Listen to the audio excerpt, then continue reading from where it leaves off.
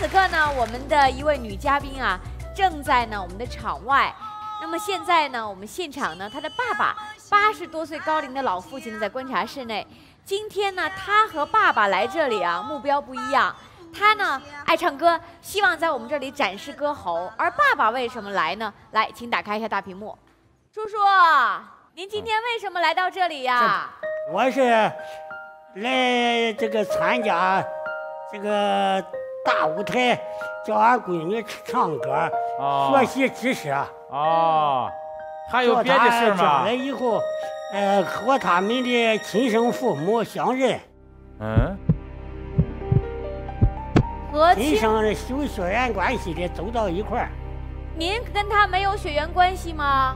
我抱养的。哦。哦，也就是说，您希望女儿去和她的亲爹亲妈相认，对吗？对。但是他自己不愿意，对吗？不愿意是不对的，我一定要劝说他们相认。哦，明白了。好的，谢谢，请关上大屏幕啊。是这样的。就在我们采访中，我们发现，一位老先生已经八十多岁了，他呢有一个抱养的女儿，他特别希望有生之年能够看到女儿和他的亲生父母相认，但女儿心里有心结，她觉得为什么当年不要我，现在又想来认我，所以他心里一直有一个心结。他希望，也就是说，他知道谁是他父亲，这个我还不太清楚，所以一会儿呢，呃，这个父亲呢就跟我们的记者说了很长时间。希望我们能帮助他解决女儿的心结。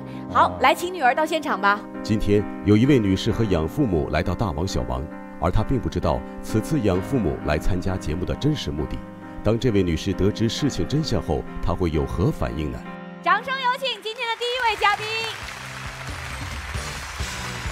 好，老师好，您好，主持人好，现场的观众朋友们，大家好。这是您什么人啊？李大翠，俺闺女。你好，你好，芳姐，你好，太漂亮了，谢谢你。哎呀，哎呀，你我终于见到你了。哎呀，比电视上还帅呢。真的呀？哎，亲爱的，能不能说句实话呀？真的，他都老成这样了。没有，不显老，不显老嗯，在我们农村显年轻这样的。哎，你知道他多大年龄吗？哎，呃，跟我差不多吧，三十来岁。三十。姑娘，千万别这么说，我已经过四十了。有吗？过四十了。去年的时候我还能满足我是三十多岁，今年就不敢说了。我今年四十一了。哦，今年是这样的，王老师呢比我大十五岁。今年呢，我是一九七五年出生，我四十一岁。你信吗？五十六了，五十六了，是五十。你信吗？我不信，你信我都不信。你要要是赶农村，五十六的是多老一个老头对呀，这在老家俺个五十六的都黄了，是不是？对不对？不可能对不对？对，没有穿这样的五十六的呀。来来来，给大家自我介绍一下。今天来个对手啊！叫什么名字？我这还认不住你。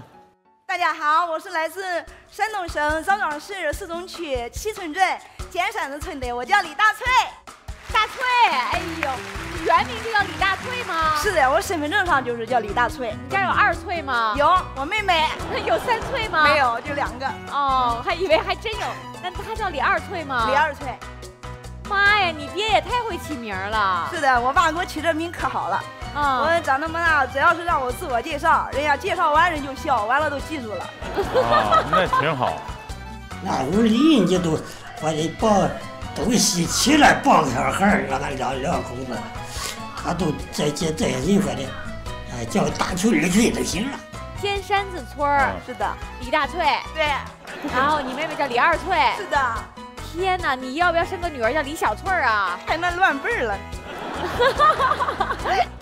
你会唱什么歌？我今天唱一首《老爸老妈》吧。老爸老妈送给你的老爸老妈吗？对，送给我的爸爸妈妈。爸爸妈妈都陪你来了。是的，我这一路很感激，然后觉得爸爸妈妈很不容易。只要是，呃，我需要他们，只要他们还能走得动一步，他们都愿意陪我来。所以这首歌送给他们，希望全天下的父母都能够平安、健康、长寿。爸爸妈妈这次是专门陪你来的。是的。爸爸多大年龄了？呃，八十岁了。我已经八十岁了，母亲八十二岁了，怎么这么大年？你今年多大年龄啊？我三十多岁，三十三岁。那你爸爸妈妈都是五十岁才要的你啊快。对，五十五十岁把我抱回家了。抱回家？抱回家？是啊。你是哪儿的？就把你抱回家了？嗯，我是抱养的。是正常的抱养呢，还是那种弃婴的抱养？嗯，正常的，不是弃婴。啊。我庆幸，我不是弃，不是弃婴。啊。那你家你跟妹妹两个孩子，就是妹妹是他们的亲生的孩子吗？也不是，我和妹妹是亲姐妹俩，妹妹也是抱养的，我们从一家抱来的。哦。哦，你跟妹妹从一家抱了俩孩子。是的。不是，那你爸爸妈妈怎么？抱来的时候多大了？哦，我刚出生没多久吧。不，那那你妹妹比你小多少啊？小三岁，她也是刚出生没多久。哎，我明白了，就是你亲生父母想要儿子。嗯，可能不是这个原因。就我我想知道，你三岁，你妹妹多大抱来的？嗯，也是刚出生啊，她比我小三岁。也就是说，你刚出生就抱你家了？对。然后呢，她一出生又抱来了？对。问题是你养父养母挺有意思，可着一家要啊。是啊，我爸爸妈妈真是这样。然后因为两家距离很近，他觉得哦，也就是说，其实你知道谁是你爹，谁是你妈。嗯，知道。就算我不想知道，我也得知道，因为同学们都知道，同学们都告诉我那是你亲妈。哦。那你跟他说过话吗？嗯，没说过。这么多年没说过啊？对，就好像。这么多年没说过，因为，嗯，走到他门口都绕着走。李大翠是一个性格特别开朗和乐观的人，这源于养父母对她的爱。虽然在上小学的时候，大翠就从同学那里得知自己的父母不是亲生父母，但她从来没有去认过亲。这时，观察室里有三个人一直在注视着场上的谈话。那么，这三个人与李大翠有何关系呢？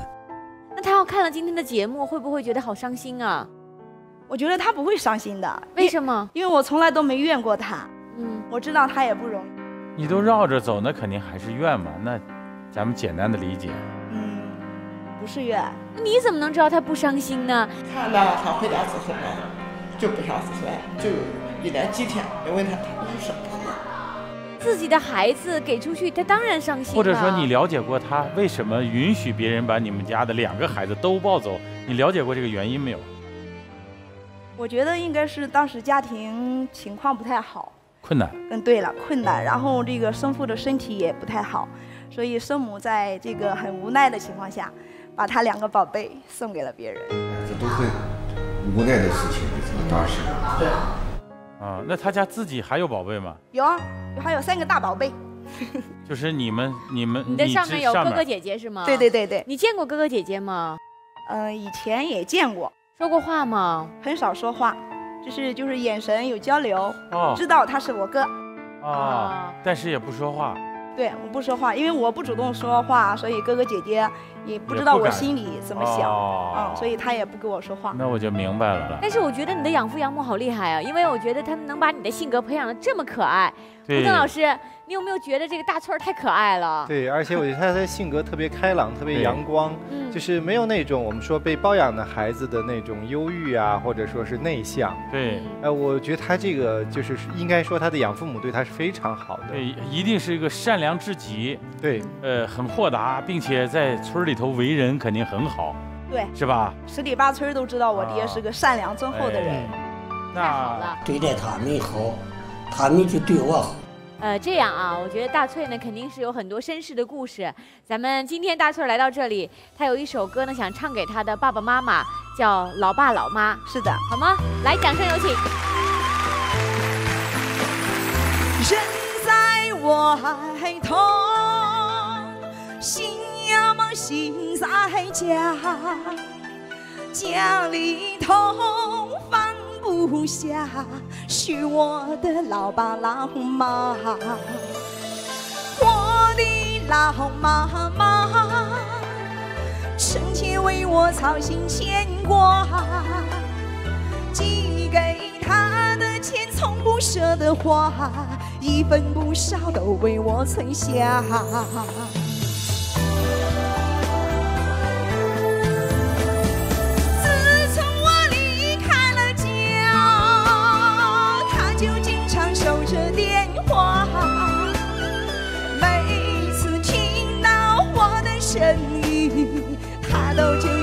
远方向。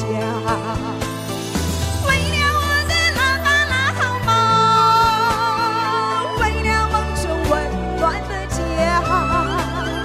为了他们李大翠居住在山东枣庄，从小就知道她和亲妹妹是被养父母抱养的。可以说，这三十多年来，她深知养父母为他们这两个孩子付出了多少，有多么的不容易，所以至今他从没有想过认亲生父母的事情，因为害怕养父母伤心。而在现场，大翠的养父突然提出想让他认亲生父母，那么李大翠的养父为什么现在想让大翠认亲呢？大翠儿，呃，今年多大年龄？三十，刚刚你说三十三岁。你什么时候知道？你不是爸爸妈妈亲生的孩子的，嗯，小学一年级的时候，因为去得去那个小学去上学，完了得路过那个村庄，然后呢，我们班里边有好多那个村庄的小朋友，嗯，所以他他们都说你不是你亲你你那个妈妈生的，你你的亲妈在我们村儿，你亲妈在我们庄，就这样在你们邻邻村是吗？邻村，所以然后你当时相信吗？当时吧，我也不想相信，不情愿，不过呢，我也默认了。嗯。那你当时七岁的时候，你没有去问过爸爸妈妈吗？没问过，为什么不问呢？我想这个事情吧，我觉得不问比问好。你七岁就有这么深刻的思想了？真的，因为我从小你害怕他说是，是真的，他你害怕他回答的是是这样的，是吧？对，我就怕，我我不敢相信，嗯，因为呃那但是我心里呢自己的想法，如果要是问了真是这样怎么办呢？你会不会难受是吧？对呀，啊，所以我就脑子里就不想他，不去问。当时也没办法，当时家里特困难，所有的担子都落我妈身上。一直憋到现在吗？没有吧？你后来是跟爸爸妈妈确认过吧？没有，我一直都没主动给爸爸妈妈确认这个事情。那你现在就你跟爸爸妈妈说这事儿吗？不说，都是我爸主动给我说。你爸最近跟你说的比较多是吗？嗯，近两年吧。因为你爸爸跟我们的编导也说了，说你说让我们做你工作，说你该认的得认，说要不然的话他心里不放心，就变成这样了。我这个这都到了七八十了，不应该认，认完都没了心思了。你有没有想过，爸爸为什么在八十岁的时候突然想让你这个这个认这个事儿，或者说他强调这个问题？你估计他担心什么？他可能觉得。他年龄大了，他可能觉得他和妈妈没有几个年头能照顾我和妹妹，所以他希望在在他有生之年能看到，能看到我和妹妹能和家人能和亲人团聚。他好放心，我知道他是这样想的，他肯定就是这样想的。你从小到大从来没有跟你父亲确认过这事儿吗？没有，从来没问过。你爸跟你说过吗？说过，说我就说，行，别说了，以后再说吧。俺家个闺女不认，到现在还是不认。然后我那边亲人的电话号码，爸爸也给我，说这是你嫂子的电话号码，你哥哥都想跟你说说话，你给他们打电话吧。我说你先帮我保存吧，就那么大的一个小纸片一个小纸条，他保存了两年，完完整整的，特别白，特别好。我我父亲给我保保存的，我都没想到，这个事情在他心里可能一直就是一个大事儿。给他，他又写给我了，他不看都不看。然后我就觉得，别给我提这些事儿，只要是我的爸爸妈妈现在身体健康，然后健在，我就好好尽孝就行了。我想把这份完整的这份爱呈现给我的爸爸妈妈，让他们感觉到他多年前抱养我和妹妹是值得的。我不想让他老人家的心凉了，不想让他心凉。我跟你说，都是认了好，嗯，不要糊涂。我明白了，就是说，在你看来，如果我要去认亲，就意味着，呃，两个老人，呃，会感受到那种你的你的离开。你知道吗，王老师啊？就是爸爸抱我们的时候，那我们就是刚抱回家的时候，邻居们都说，你说你老李，你你。疯了啊！你是想不开，你可劲儿一个家就是从一家抱，你不能从别的地方，从远的地方抱，离那么近就二里路。你喂大了以后，人肯定回去就找他亲妈了。你白养，我告诉你吧，两个白眼狼，你肯定是白养，大了以后绝对不会孝顺你。所以你要证明给他们看，你不是白眼狼。对，我要证明给大家看。都弄死我说不怕，咱不讲究那个了，只讲究把小孩喂大。我要证明给大家看，你不是白眼狼，你孝顺你的父母和你去认亲爹亲妈不冲突啊。就你心里肯定还是有个结儿，对，他肯定还是有个结儿，只不过他不愿意承认，是不是胡老师啊？我我倒是我倒是觉得这里面是双重的原因哈，一方面就是说他是个很要强的人，他是希望证明给所有的人看我不是白眼狼。嗯。另外一个，刚才从他跟我们讲说从那个门口绕过去。嗯，其实他心里是有一些怨和怨和哀怨，我们在里边，他不见得是恨啊，是一种哀怨。我们说，任何一个小孩子被寄养给别人的时候，这个孩子一旦知道自己是被寄养过来的，都会有这样，都会有第一反应是恨。对你为什么不要我？嗯像大翠这样，他了解家庭情况以后，知道了啊，不是那样一个，比如说被遗弃，是主动抱养过去的。他就没有恨，但是他会有一些哀怨，嗯，这个情感是很微妙的。所以我说一个远处的话，咱们就是说，假定爸爸妈妈身体很好，你现在的养父养母身体很好，咱们说的是假定。你突然听说你生母这个生病了，特别想看你，病得很重，嗯，难道你的亲生的母亲就想见你一眼、看一眼，你都不会满足她吗？那得劲。我会啊，只要她需要我，我肯定会去的。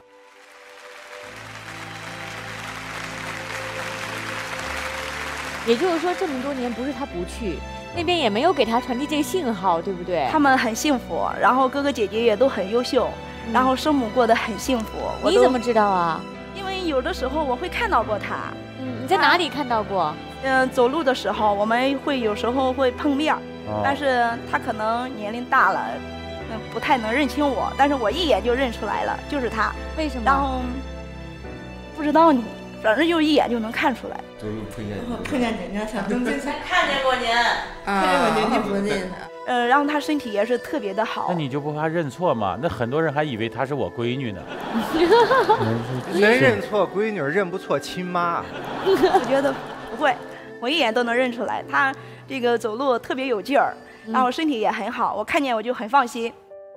我我是这么想，在你小的时候，你有没有在心里边其实有过抱怨？当你知道这个事儿的时候，我小的时候不懂什么叫抱怨，反正难受，也不难受。你说，因为我的爸爸妈妈对我们太好了。太疼爱我们了，我是我们那片儿的小朋友当中吃的是最好的，因为爸爸妈妈总是把这个钱啊，那个挣来的钱，总是把这个最好吃的、最好的也给我们姐妹俩。然后他们村儿有那建筑队嘛，去我们村儿去干活，都知道，就说大翠二翠，他爸爸妈妈养的可好了，养的特别，就是吃什么都不用愁，生活的特别开心。我那时候咋些，休息不歇，挣两个钱儿都喂他们。我能不能理解你妹妹也被你训练的和你的想法差不多？对，她听我的。你看。但是我我能理解大翠儿啊，就是可能从小你是一个很幸福的家庭中长大的。是的。在你的印象中，妈妈和爸爸谁严格一点？妈妈严格。嗯。妈妈非常严格，然后我爸爸呢，就是，呃，什么事情啊都是笑着给我讲，然后我妈呢，就是遇到点事儿就是拿棍子给我讲。就就是就是总是吓唬我，所以我一看见我妈，我都能围着我村跑三圈 真的。我们不懂理，他这个该严格的不严格。就是我妈就追上我以后也没力气打我，然后我们俩就回家了。嗯，哦，就追你。嗯。追完以后不打。不打。所以你已经学会了，就只要遛他三圈，追上也等于打不着。是啊。哦，那小的时候，那你们俩。经常遛你妈是吧？你想啊，你在前面跑，你妈猛追。对啊，等我长大了，我跑的就是十来岁的时候，他已经追不上了。嗯，哎，他都六十多了，你想，嗯，基本上一圈他就追不上了。所以小的时候挺开心的吧？很开心。嗯，但是我觉得有一点啊，我觉得你看妈妈曾经这样追过你、打过你，但是呢，你依然那么爱你的爸爸妈妈，这是让我觉得。呃，真的非常感动的地方啊。呃，你从来没有把他们当外人儿，对吗？从来没有。对，啊、我和妹妹就是他们的唯一。你跟妹妹打吗？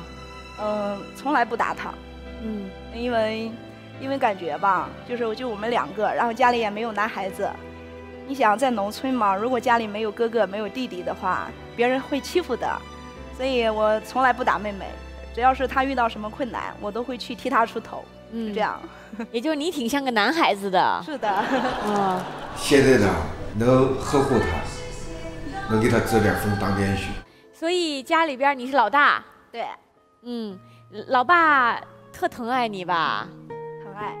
能举个例子吗？在你小的时候，印象深刻的事儿。嗯，举个例子，就是我爸爸是个修鞋匠，然后他就靠这个维持着我们家的经济。修鞋匠，修鞋的，就在路边修鞋的，您见过吗？当然，当然。嗯，就是你比方说这么热的天，呃，就搭一块那个布，就用那个这个就是蚊帐杆子，就那样竹竿子撑起来一块布，然后老人家就在就在这块布底下，就跟着太阳就隔这么一层布，然后一个泪水啊，呃，这个汗水啊，眼睛都睁不开，就这样辛辛苦苦赚来的钱，然后就是也不舍得吃，不舍得喝什么的，就是十天半个月的，如果喝那么一次羊肉汤，在我们那儿挺挺出名的羊肉汤，就是只喝汤，肉从来都不吃，然后就是放他那个茶缸里，那么大的茶缸子，不知道多少年了，就是每次回去以后，他就会把那个肉拿出来给我和妹妹吃，他看见我们两个狼吞虎咽，他就光笑，开心的不得了。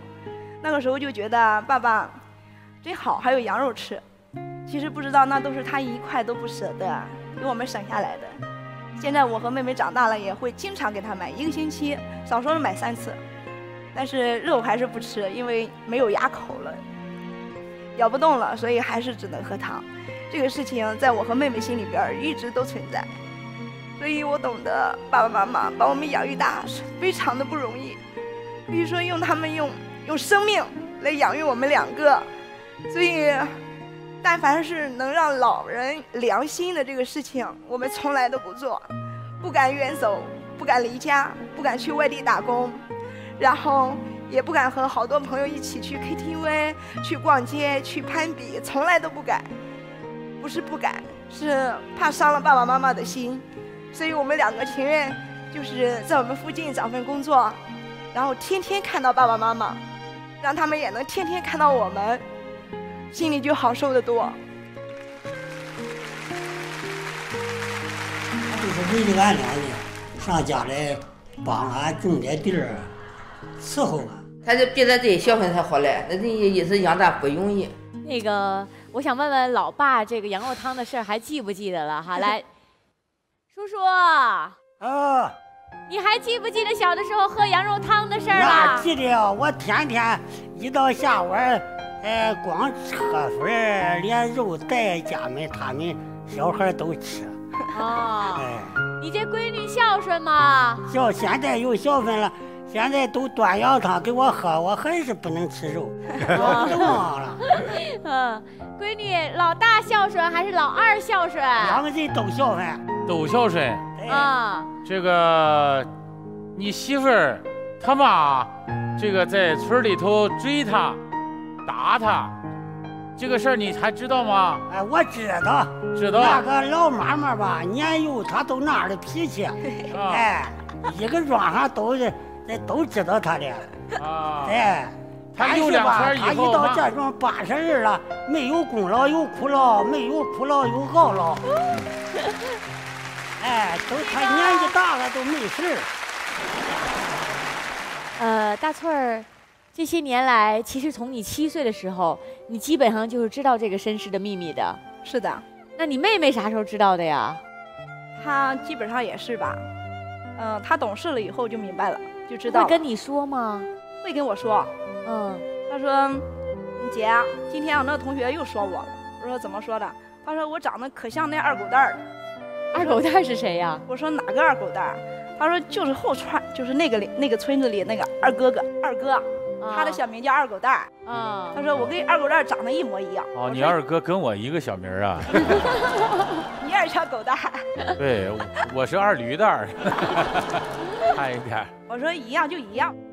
别理就是了。他说哦，他就听我的。嗯，他有没有偷偷的跟你说姐？我突然觉得我有点想见见咱妈，亲妈。她有有过这种瞬间的要求没有？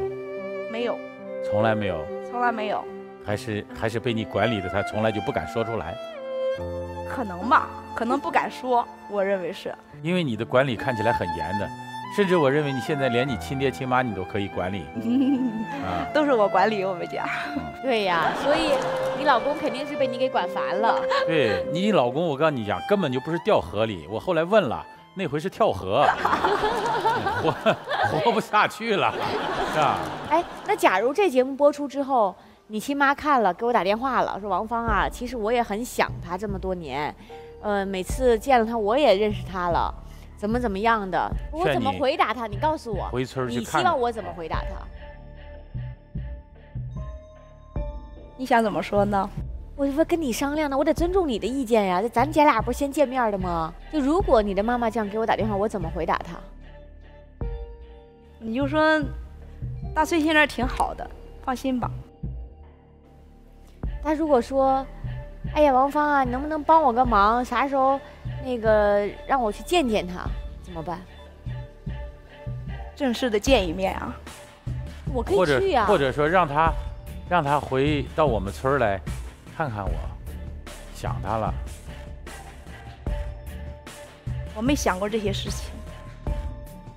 你刚才在那一瞬间，你跟我说让我回答他说大翠现在挺好的。”你一下眼泪差点出来，你能告诉我在你的心里，你恨过这个妈妈和爸爸吗？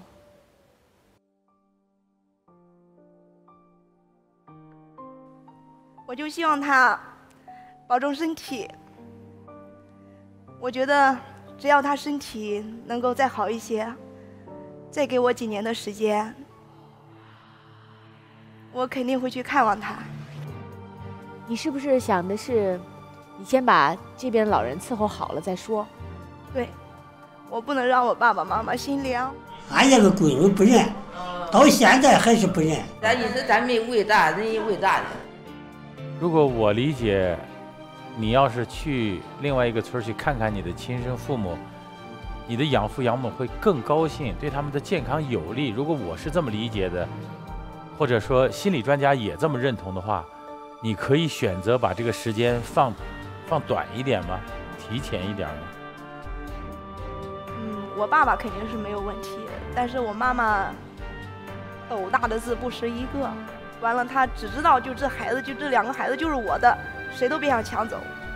因为在我记忆当中，小的时候我们邻居有一个说，告诉我偷偷告诉我这不是你亲妈，然后我妈妈气的呀，然后哭了两三天，然后不再起床的。我就知道这个事情对他来说太敏感了，我们两个对他来说太重要了。他，他他自己说的，我到死我都不承认，这就是我的孩子。谁要再胡说八道，这怎么怎么的？所以我妈妈心里是这样想的。他都人天不叫人，他不懂的。现在帮我开一下这个爸爸妈妈，先生您好。好。我在想啊，我们这个节目播出之后，你们家大翠儿在你们村就火了。哦，是这个。嗯，我想知道，假如有一天他和他的生母相认了，呃，你高兴吗？高兴，就是这人我也高兴。他妈妈呢？他妈妈也高兴。我先给他说了。你好，你跟他妈妈说了？哎。叫他认，他龙山怪事的说认认识了。啊，你跟他妈妈说过？哎，他妈妈高兴是吧？是的。哦。我怎么突然这母亲，就怎么疼这个俺妹妹的养父呀？今天请你来呢，呃，是一期很特殊的录制，我也特别想。把我刚才遭遇的，或者说遇到的一切事情呢，想实话的告诉你，因为其实今天录制这期节目呢，我们是受你爸爸的嘱托，然后爸爸呢，不但希望你能够认你的这个亲生父母，而且他就觉着，如果那样的话呢，可能很多，就他的一个担心就解决了，然后呢，我们就录制了这期节目，呃。录制这期节目呢，你的爸爸在即将我们录制节目之前，给了我们一个小纸条，可能就是你们你说的那个小纸条，对吗？可能吧。这上面有两个电话，我们也按这个电话拨打了。哦，你想知道结果吗？拨打了电话之后，你的亲人们吧，跟你有血缘亲人，都在第一时间赶到了现场。今天，我们这些子说是相当之美高兴，就是这人我也高兴。他妈妈呢？他妈妈也高兴。我先给他说了。杨父说，养母也支持大翠去认亲生母亲，一切看起来都很顺利。可是这话音刚落，养母突然情绪激动起来。你这是慌不嘞？你能说话不要说话跟你说。是。俺至少教你，俺至少不干。你现在我上家我能欺负他？那屋里头我能受不了。我到家上厕所，来上厕所所以此时此刻。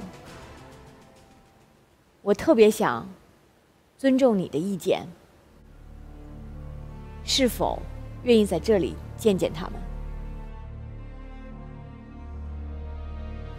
当你刚刚坐到这里的时候，你的妈妈，亲生妈妈，泪如雨下。我今天录像一直在来回跑，其实我心里也很不安定。我本来都不想告诉你的，但是我觉着，我觉得这是一个很重要的事情，而且刚才也跟你的妈妈，就你的养母交流了一下，养母呢有一些糊涂了，我觉得是不是？对，糊涂了，对吧？有一些糊涂了，所以我没有办法拿到她的真实想法。后村的上这来了，你高兴吧？高兴。他要在这买的。大翠的养父母今年已经八十多岁了。养父非常坚定地希望大翠认亲，可是养母此时开始犹豫，并与养父争吵起来。你能说话不要说话，跟你说是。俺俺至少不干。我到家上厕所，来上厕所后来我们得知，因为养母年事已高，意识不是很清晰，容易反复。但是大翠的养父仍坚持希望大翠尽快与生母见面。我跟你说，都是人了好。不要糊涂。那现在我已经请他到化妆间了，因为我想这个事情呢，我想尊重你的意见。但是爸爸现在在观察室里，爸爸是特别希望我们能帮你促成这件事情，因为爸爸说，如果不是这样一个大的舞台，可能你很难有机会跟你的生母有一个很就是很正式的见面，所以我请你做选择。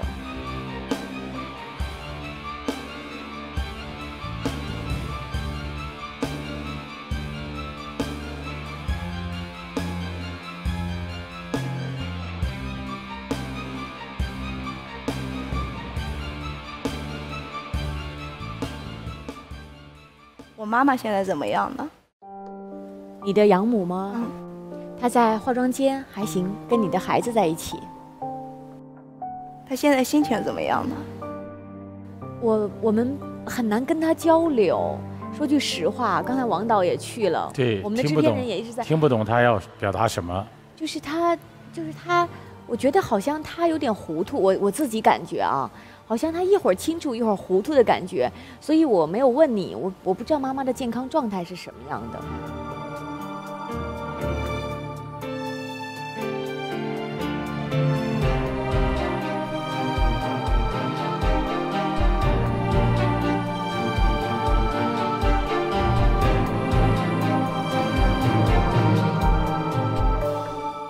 见吧。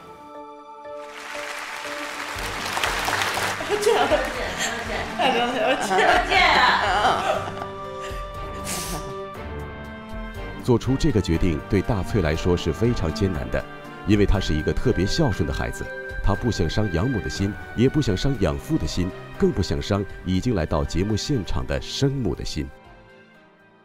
希望爱我的人一切都好。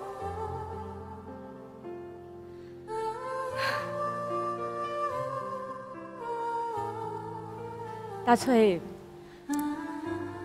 其实我一直很纠结，我不知道我该如何告诉你，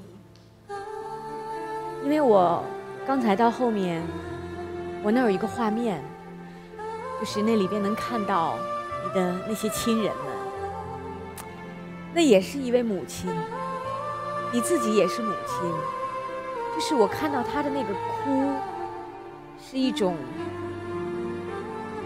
怎么说呢？让我很心疼。我不知道当年发生了什么样的事。把我妹妹就是我母亲一个星期都就到第七天了，才吃了个面粉，就喝了一点面粉。大翠，来，我多希望在这个舞台上能够给你的是一份一辈子的爱。多希望今天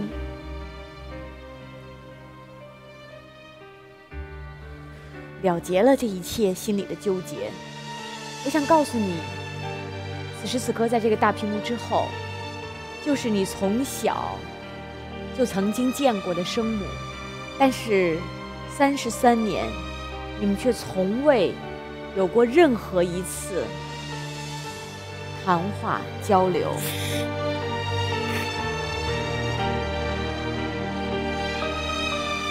你准备好了吗？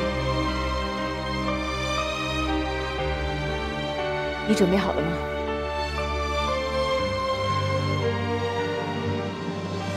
掌声有请。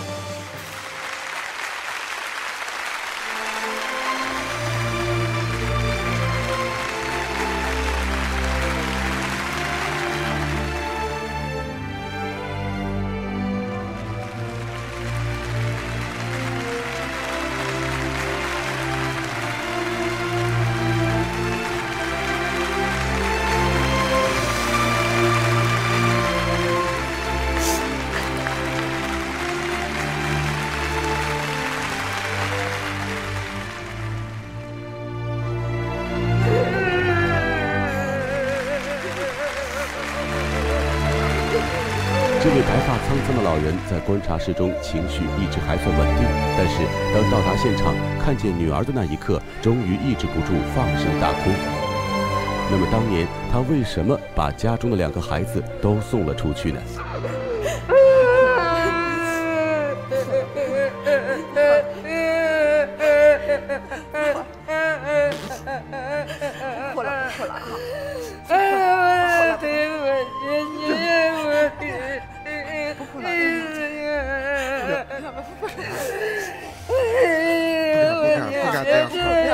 来来，先坐一下，先坐一下，先坐一下哈。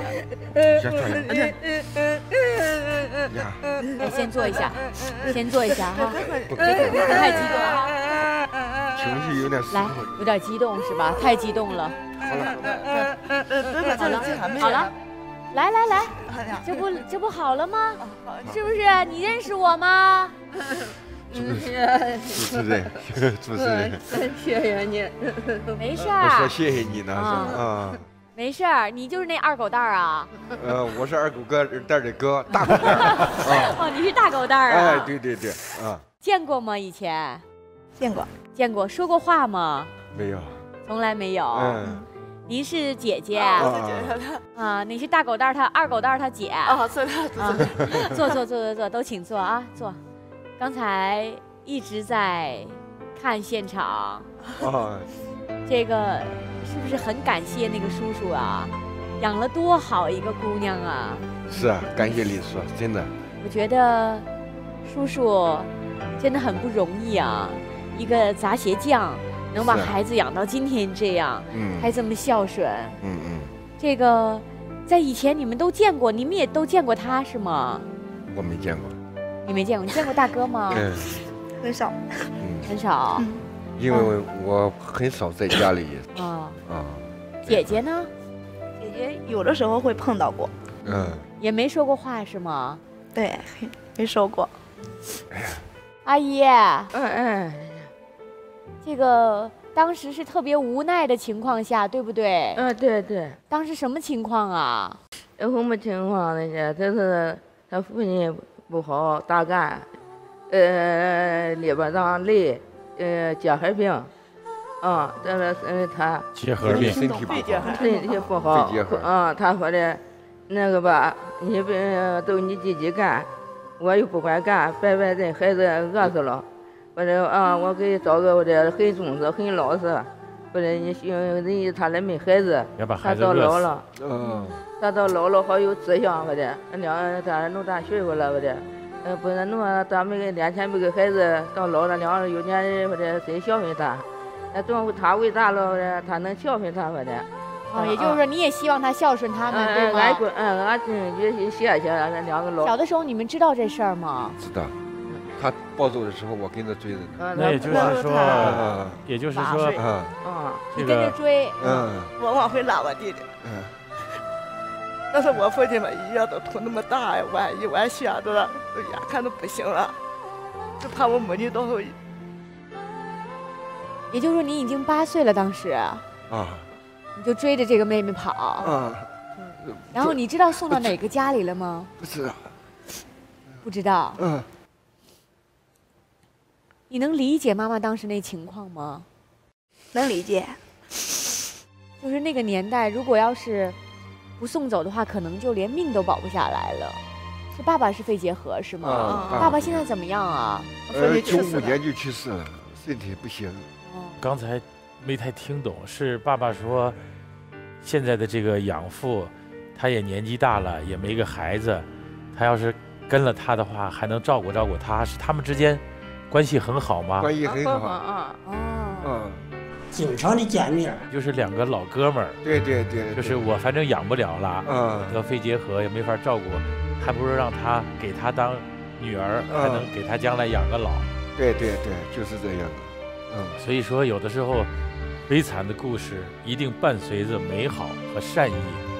有的时候我们不见这一家人坐在一起，我们可能留下的都是埋怨，凭什么你养了孩子不养他呢？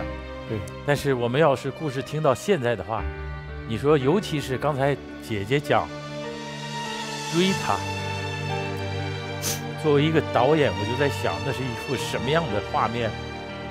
能不能满足我一个要求，跟姐姐去拥抱一下？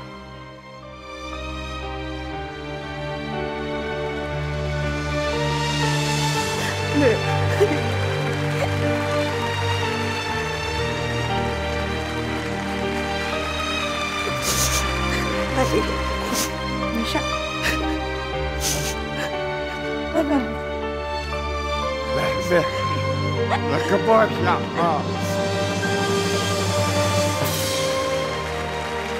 我现在有有能力能给你这么东西，知道吧？啊。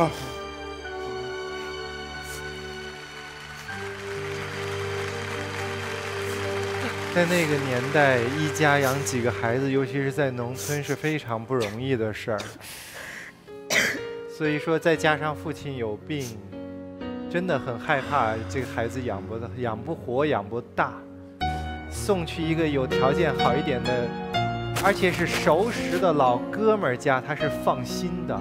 对而且也是为了这个孩子能更好的成长、受教育的。所以我觉得从这个角度，我觉得大崔真的要理解你自己亲生父亲和母亲的这种想法。而且刚才哥哥这个话说的我也很感动啊。哥哥说，我现在有能力、有条件了，让你受苦了。就是，其实我觉得咱也没受苦，是不是？咱也挺幸福的。而且，我相信这些年来，妈妈肯定是时时刻刻心里惦记。妈妈会跟你说吗？经常有些时候念叨着呢。念叨。啊，但是没见他。嗯。嗯。可能也是出于一个想法，也得尊重叔叔，是不是？就是。尊重李叔叔，对不对？啊，就是。真的要感谢李叔叔啊！就是。把两个妹妹养的这么好。哎，你准备怎么回家跟你妹说今天？我就说今天我见着了，见到咱家亲人了。从小咱们两个就觉得互相依偎，相互依靠。现在咱们的队伍壮大了。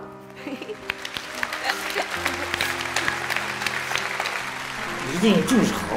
我想问问哥哥姐姐，包括妈妈，就是说，今天之后，他可能依然会选择尽可能的不让他的这个，尤其是妈妈，嗯，她可能比较糊涂，她也不太知道这里头到底这个利益关系是什么，照顾谁。她可能爸爸是个清楚的人，嗯嗯，如果为了照顾妈妈的情绪，她可能依然会选择，就是走动的并不很勤。嗯你们能接受这个事实吗？能接受这一块儿。呃，不光接受，还更希望呢，就是我妹进不到的。呃，李叔叔这一块儿把我两个妹妹都拉扯了这么大，他如果尽不到的，哪怕尽我的能力给我姐，我们这边的能力一起来孝顺你叔叔，知道吧？啊，这是共同谢谢哥哥两家做一家，知道吧？谢谢哥哥，谢谢姐姐。这不坐坐坐，一家人，不客气啊。刚才哥说这话，你高兴吗？高兴。嗯，不能，我都觉得不能这样。我想告诉你一事儿啊，嗯，你老爸乐得都拍大腿了，高兴坏了。那我妈呢？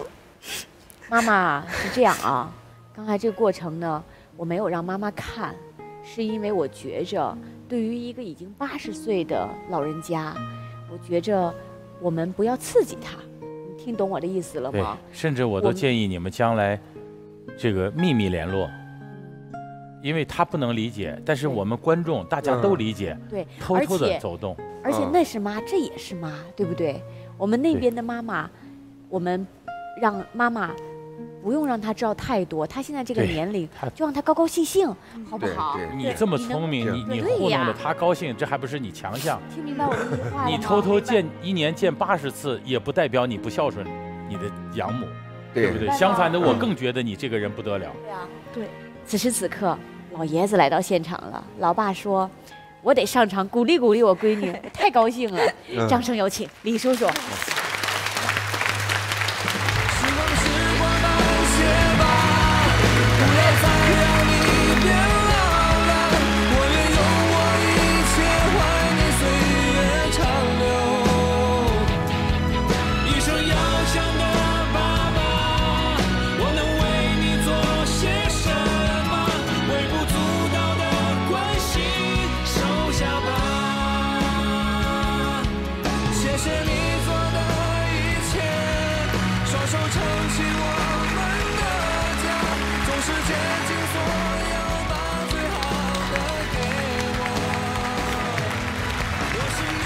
好。啊，您好。这位老师好，您好，您好。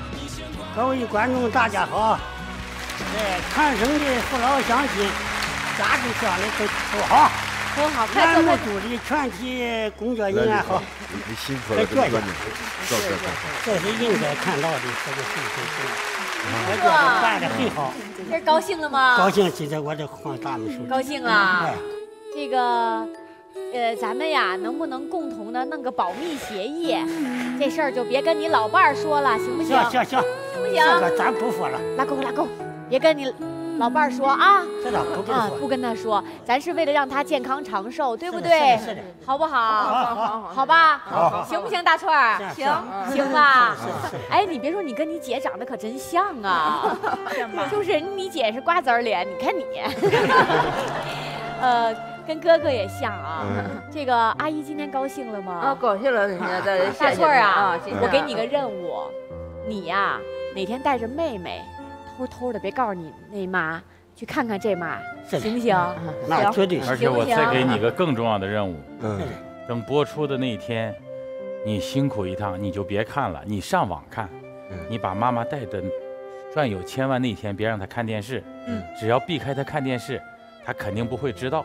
是啊然后因为他现在听不太清楚了。他听不太清楚，我跟他说话大声说，他都听不太清楚。嗯，这样的话咱们，一起来，全国观众，包括我们看到节目的父老乡亲，对就别再说这事儿了，跟妈妈，因为我们是为了让所有爱大翠儿的人都幸福。是真的是，我觉得咱们一起来努力，好不好？好好。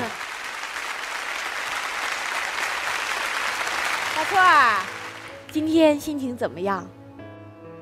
高兴，今天很激动，我这个高也。很高兴，只要爸爸高兴我就高兴。我希望爱我的人，这几个老人都能够健康长寿，给我更多的时间，我好好努力，用余下的时光好好陪伴你们。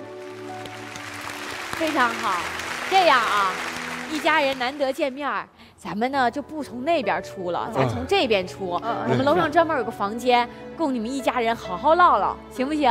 行好吧，这边这边。看着一大家子人走下舞台，所有人都感慨万千。